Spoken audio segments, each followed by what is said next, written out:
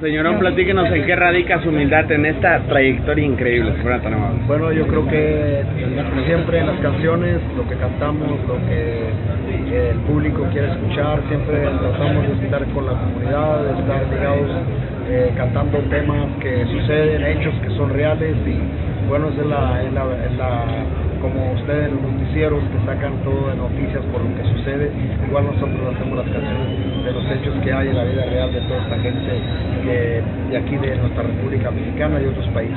Gracias por su grandeza humana. Muchas gracias. Perfecto. eh, Nueva cultura. Sus amigos, los días de los Gracias.